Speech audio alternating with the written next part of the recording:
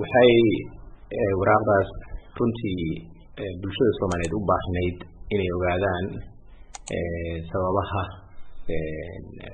mukhtaar roobow looga reebayey doorashada sababaha eedo keliya ahaa laakiin aanan wax daliilaa wadan lagu soo xiray iyo sababaha uu ilaa hadda u xiran yahay iyadoo aanan wax dacwaa lagu soo oogin. Marka waraaqda lagula hadlayay waxaa ku lifaaqnayd waraaq kale oo ay dowlado deeqbixiyayaal ah. Iyana maaragtay ku muujiyeen walwal dhacdooyinka qaabkay u dhaceen go'aanna ay uga qaateen in ay kaalmadii ay bixin jireen. Markaad fiiriso go'aanka germany u k iyo midooda yurub arrintan koonfur galbeed booliska maxay ka dhigan tahay marka loo eego amniga koonfur galbeed runtii waa dhabarjab weyn ayay ku tahay caqabad ayay noqon doontaa waraaqda lagula hadlay dowladda. Lama muujin in meesha uu doorasho ka dhacday. Marka maamulkaas cusub iyo nabadgelyadii magaalada iyo gobolka guud ahaan waxay ku noqonaysaa caqabad weyn oo u baahan in degdeg loo xaliyo arrinta mukhtaar roobow si gaar ahay u dul istaagta warqadu aada baa looga hadlay. Mukhtaar soo laabashadiisii shabaab xog badanaad ka haysay waktigaas dadka ka shaqeeyaad ka mid ahayd. Sideeba ku timid marka hore?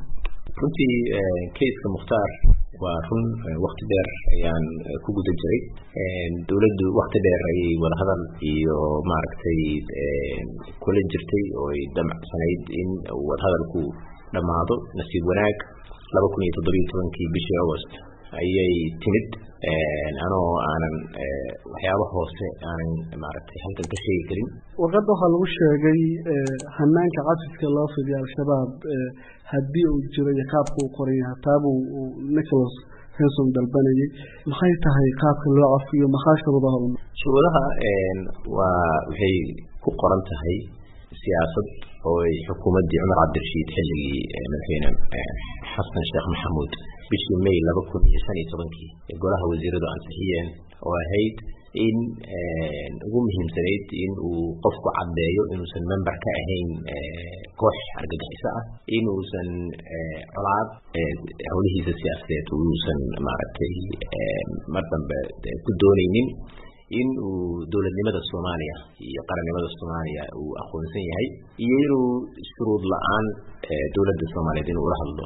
Marka afartaas qodob ayaa u ah siyaasadda qoran laakiin waraaqdu waxay codsanaysay in dowladda soomaaliya ay kala cadayso haddii ay jiraan shuruuc arrintaas siyaasaddaas cafiska iyo wadahadalka loogu furayo. Haddii ay jiraan shuruuc uu dalku leeyahay oo qeexaya qaabka loola macaamilayo intaad og tahay adiga mukhtaar afartan qodob ay ugu weyn tahay inuusan dagaal wax ku raadin aqoonsiga madax banaanida qarannimada iyo inuusan xubin ka ahayn kooxaha argixisada ama ama maaragtay qasoodayaasha mukhtaar intaad ka og tahay ma fuliyo horta markii imaanayay mukhtaar agost laba kun iyo toddobiyo tobankii anigu markaas ma shaqaynayn oo bil ka hor ayaan shaqadii dowladdaanu hayay ka tegey wax oo public ah oo sidaa u tixan oo sidaa maaragtay u markhaati furaya ma sheegin.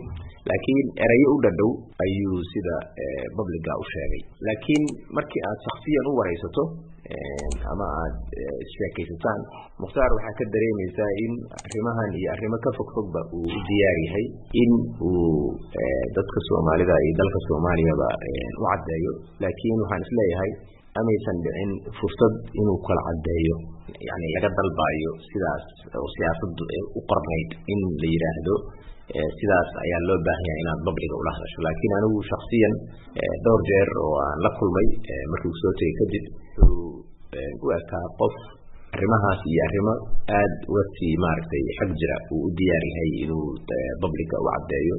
Sida inuu shabaab la diriro oo runtii qof walba soomaaliya aysan ka go-nayn.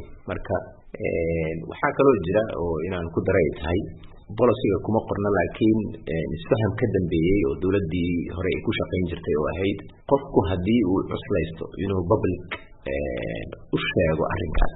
In qoraal laga qoro qoraalkaas uu isagu saxeixayo abadebit ah oo isaga iyo dowladdu marka ay contract isla ogyihiin ay noqoto oo qoraalkaas sababta loo aqbalayna waxaa jirta in cases oo qofku public haddii uu wax sheego ay wax kale inay dhibaatooyin kala dhacaan laga baqayo.